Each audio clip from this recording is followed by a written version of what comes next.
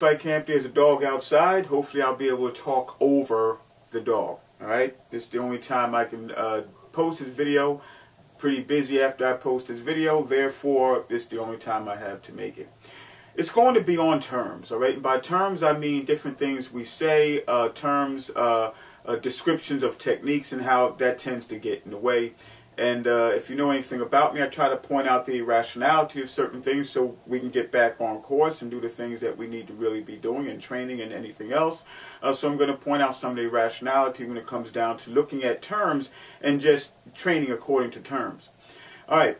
Uh, on occasion, a gentleman may contact me and say, well, you know what, Safe, I really want to train with you, but, you know, I can't train with you. I'm too far away. But there are some people who uh, who teach combatives or teach self-protection or self-defense uh, where I live, and I would like for you to look at their website and maybe give me some advice. For me personally, even when I was boxing, there might have been, there were guys that I liked, you know, guys I thought really good fighters, but I might have studied two. Kickboxing, is one. Wrestling, there's probably two.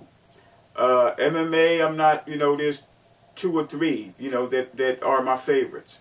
Um, you know, so, you know, it's really, when it comes down to combatives, it might be maybe two. Uh, for the most part, most people, I just, I look and I, because I do my own thing and what works for me works, I generally don't have any interest in what most of everybody else does. It's very rare when I do. So if someone asks me to look at a website, I might hem and haw about it. But if somehow they're very far from me and they sound sincere, I tell them, give me 72 hours and I'll look often what ends up happening is I will see a website where a guy has these machine guns and going brah, brah, brah, brah, but he's teaching combatives. Now, in the United States, that's a big deal. You know, it's a gun culture. You know, when you think about the samurai, you think of the sword. You think about the Apache or the native. You think of uh, the native. Uh, you think about uh, you think about the knife. You think about the uh, you think about the the uh, the Vikings. You think about the swords. You think about the uh, the uh, the uh, uh, the African, you think about the spear. When you think about the West in America, you think about guns. So when people look at that, it's you know, brah, brah, he's qualified to teach combatives. It really never dawns on them that combatives is hand to hand, hand to weapon, weapon to weapon, and maybe guns, right? It doesn't dawn on most people, you know. So they see this shooting, and before you know it, yes, he's qualified. Now, one of the problems comes up also when we look at that and we assume that that means combatives. But there's something else. Give me another example. Let's say you have a Navy SEAL, right? And this Navy SEAL has done two tours in Afghanistan, right? Prior to that, he comes from a very beautiful neighborhood, born and raised in a beautiful neighborhood, never had any street confrontations in his neighborhood, uh, not a big problem of bullying in his school, but he did go right into uh, uh, uh, the Navy and became a Navy SEAL. He did two tours in Afghanistan, expert marksman. Now you have him. And then you have someone born and raised in maybe Liverpool, or born and raised in maybe Brixton, or born and raised in maybe Manchester, born and raised in maybe Chicago or Detroit, or, or, or New York, or Newark, right? And these particular people have dealt with violence you know, not all the time, but they've they've dealt with it, right? Okay. Now, if you had that Navy SEAL and he was teaching combatives, right? And he had a website, and then you had that other person who was born and raised in those urban areas, right? Where you're trying to learn yourself, what you're trying to learn, just teach what you're trying to learn to protect yourself from. He dealt with it, you know, at least on a weekly basis for one po some point in his or her life, right? When you look at that, which website would you go to? Well, you likely will go to the Navy SEAL website. Why? Because of the term Navy SEAL. You probably wouldn't think that if he came from a very nice neighborhood, and if in that neighborhood he didn't even have any fights, not a whole lot, but just didn't have many fights at all, right? If by chance then when he went to Afghanistan, he wasn't, he was in the mountains and he was doing quite uh, maybe some shooting, but pretty much long range, it doesn't dawn on you that he's probably not very qualified to teach you how to survive in urban areas, hand to hand. Why? Because he hasn't necessarily dealt with hand to hand. But because we're talking about terms, you would think Navy SEAL. Someone born and raised in that area. Navy SEAL, someone born and raised in that area. Someone who was in Afghanistan, someone who was in Brixton, Manchester, Harlem, Detroit, Chicago, Newark, right? Terms. We're talking about terms. Now there are some people that might say, well, and this is where it's going to get controversial, but if you really know where I'm coming from, people, you'll say Safe is right on this one too. When you look at American American armed services, when you look at their armed forces, I will have to say, and again, people are not going to like it, but they are the least well trained when it comes down to hand to hand. I had to say it. They're some of the least well trained when it comes down to hand to hand, and I will tell you why. Two reasons. One is they generally do not have any day to day, any day to day contact with the perceived enemy, like, say, Israeli forces, right?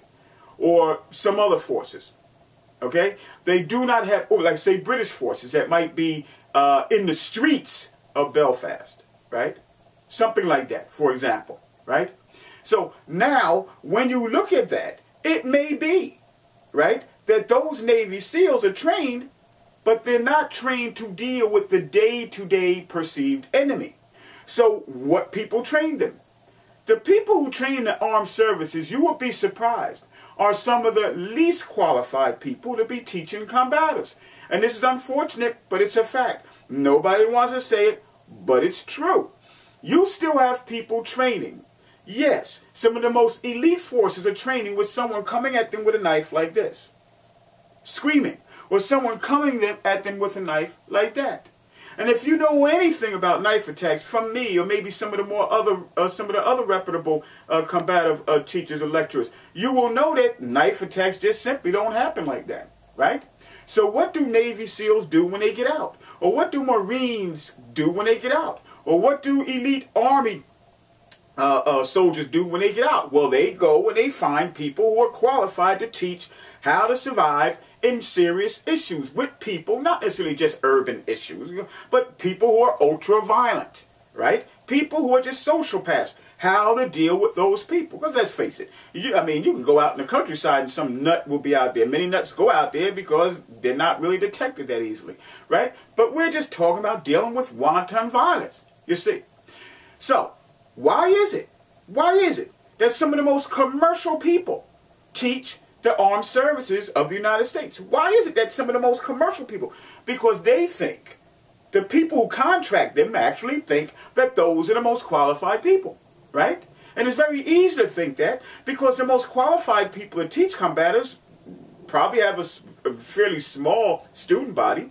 They probably teach in their garages or in their attics or in their basements or have maybe a little storefront or something like that. Some of them may teach one or two weeks in, in one or two days a week in a local park if it's in a warm climate or might teach one to two days in a local recreation center. But they maybe don't have big schools and most of them simply do not. The most qualified people don't right? Because they teach with a certain intensity that simply is not very marketable to today, with and particularly people like I say in the United States and other people. Okay.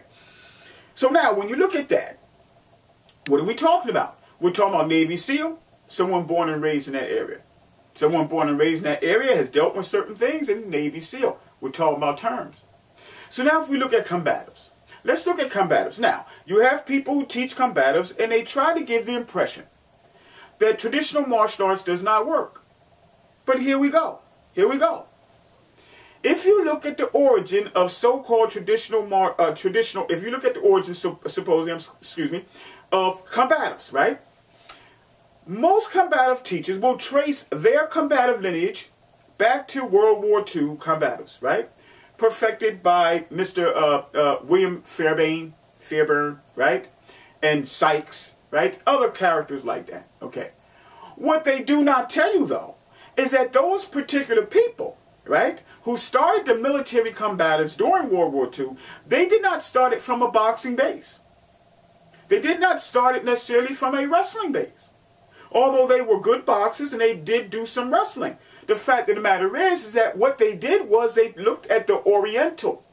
They looked at the traditional martial arts judo, jujitsu, Japanese jujitsu, kung fu, yes, kung fu, and karate, and took those things, took what was best from those things, okay, and then implemented them and came up with what is actually combatives.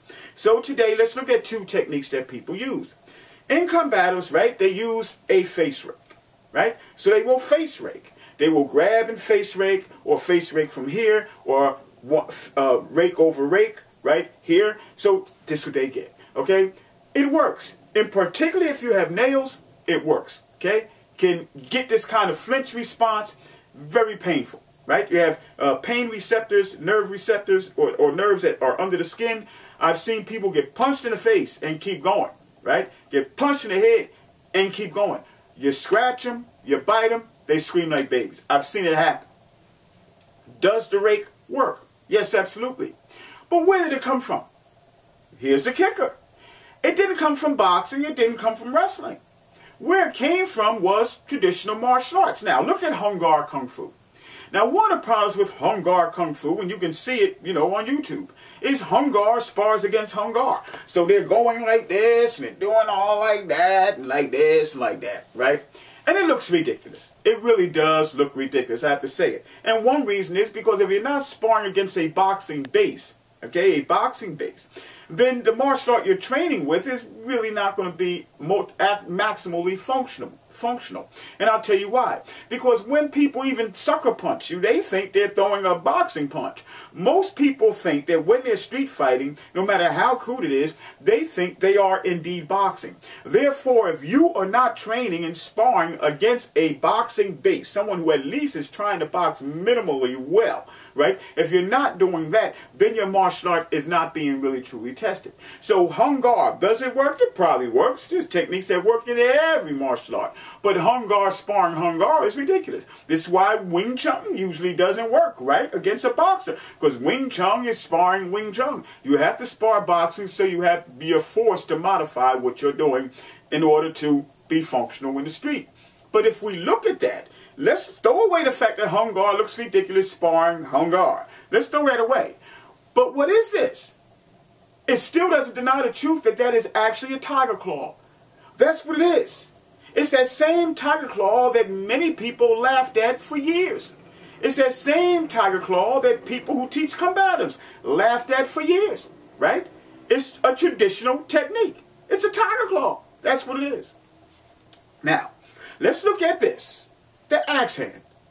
Many people call it the axe hand. It's the axe hand, and people are so beside themselves over the axe hand.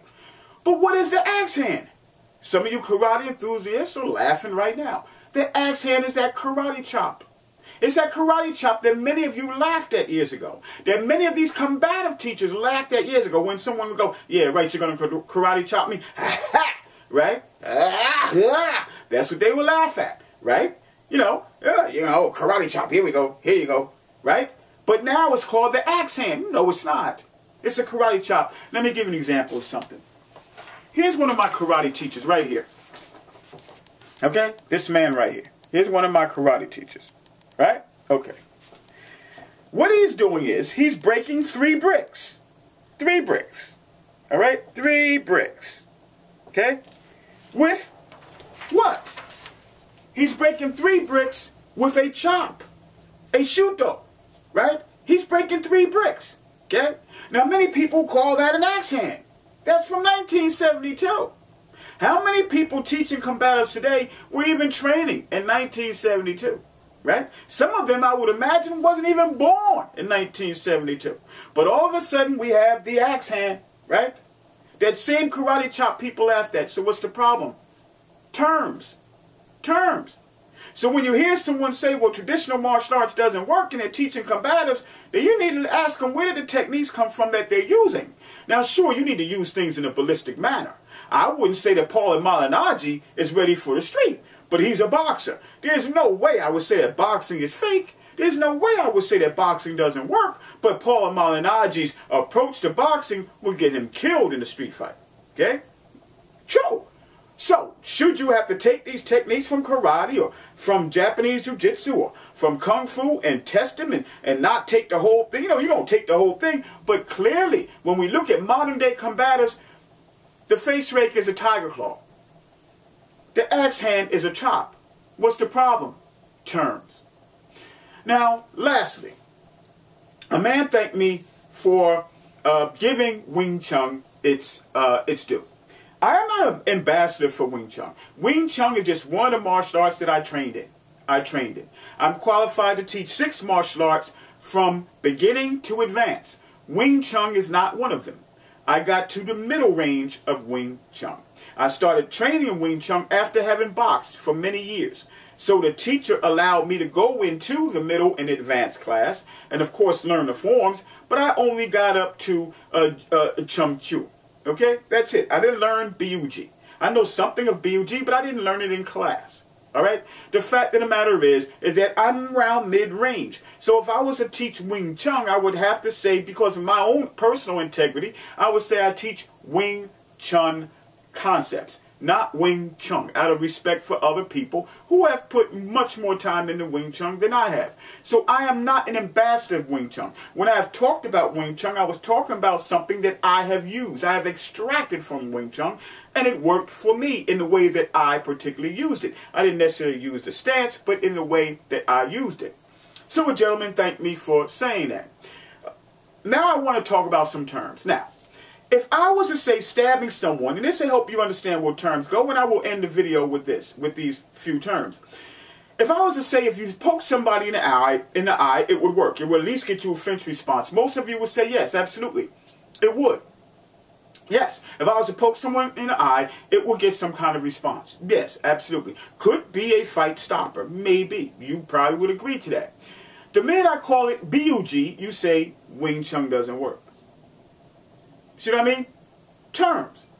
Now, if I was to ask you if when you tie up, you're trying to uh, not break someone's kneecap, or you trying to trip them, or you stomping on a foot, or trying to throw them, or trying to sweep them, or trying to throw them off balance, or pull, or push them off balance. If I asked you if that was viable, if that's something you should try to do once you're inside, and I'll repeat, if I ask you if once you're inside on someone and you're tied up, that you try to maybe bash their kneecap, kneecap or stomp their foot or sweep them or throw them or knock them off balance or something like that, right? If I told you, you know, if I asked you if that was something you would try to do or was it was really something you should try to do in street fight, if I asked you if that was, you would say yes.